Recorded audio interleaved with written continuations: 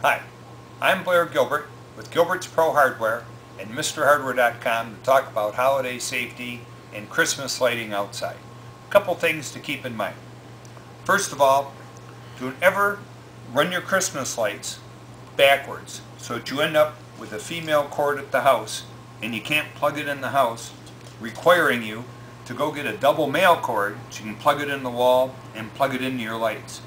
Very dangerous. You plug this in the wall, this is a live 110 volts electricity outside in the snow, very capable of causing some serious damage to someone. So no double male plugs for any lighting for any of you.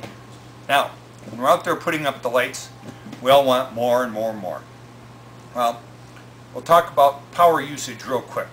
Our old-fashioned lights, the ones that I grew up with, the old C7s and C9s. These are like 7 watt bulbs, 25 watt strings and day 10 the common size of this is this is 175 watts.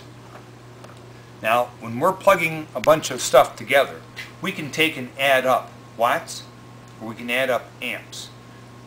Now we don't want to make anybody into a math magician but volts times amps equals watts.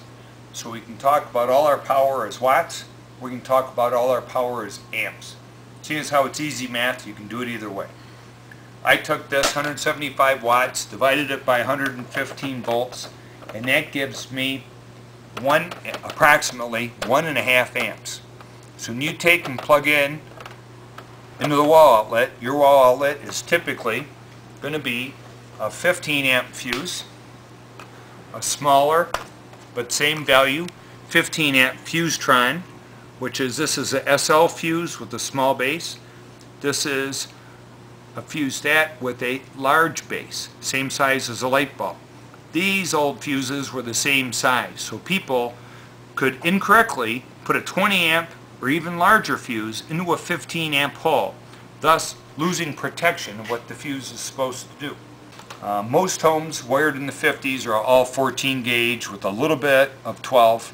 So to give you a clue, your house, you're typically being fed with only 15 amp breaker or fuse, giving you only 1725 watts.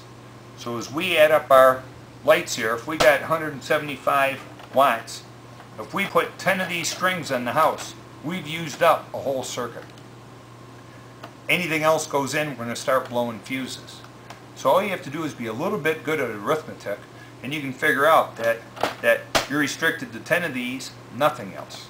Alright, so now when we're going with small neon bulbs, like swag lights um, or the icicle lights that we have here. This is the old technology that, that was real popular all the way up until just a year ago. Um, this particular string here draws 0.4 amps or about 46 watts. So these lights draw a lot less electricity than our old style 7 watt bulbs. Um, these bulbs you can put over 30 strings of these together, however, and then nothing else. And then now, with the advent of LEDs, this is the latest and greatest, these bulbs draw, this whole string draws only 4.8 watts, which is 0.04 amps. It means you can put over 60 of these strings together. the other good thing with LED bulbs is that they give off no heat. You can take a whole string of these and plug them in and hold, you, hold them in your hand and there's no heat given off them at all. So when you're take, putting your lighting program together, every one of these strings on the male cord lists either the wattage or the amperage that the cord draws. So you can just take all your toys, add them all up, and know whether or not you're going to exceed your circuit breaker or your fuse when you build your Christmas display.